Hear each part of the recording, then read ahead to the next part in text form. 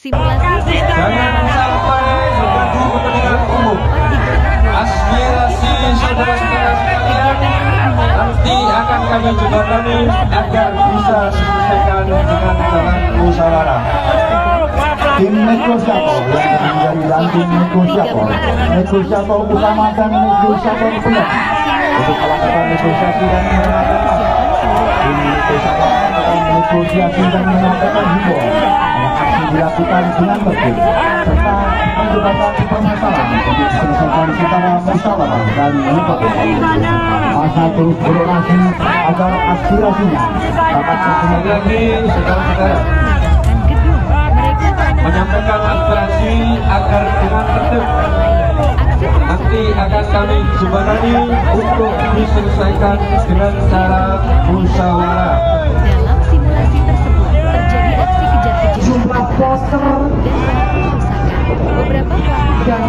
Alat-alat untuk melakukan orasi serta.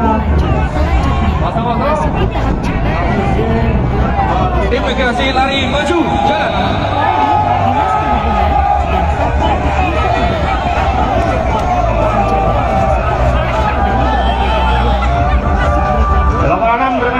Situasi segera akan menuju ke tindakan selanjutnya.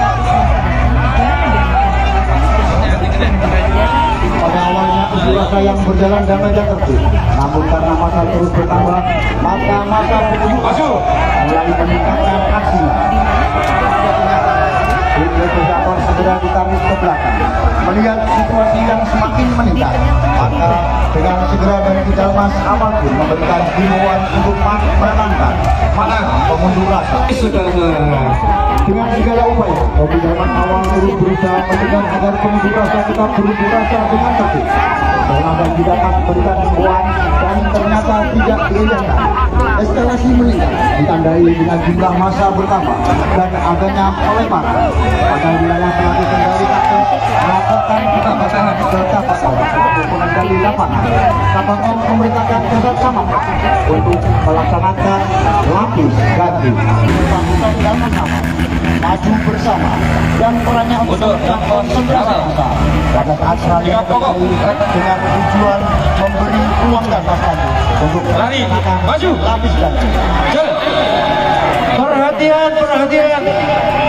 Disampaikan kepada para pengunjuk rasa. Atas nama undang-undang, kami dari pihak kepolisian menghimbau kepada saudara pengunjuk rasa untuk segera bubar dan kembali ke rumah masing-masing dengan tertib. Namun dengan datangnya kopi dan mas lanjut yang menggantikan kondisi dan mas awal membuat masa bukannya takut atau mengendurkan aksinya.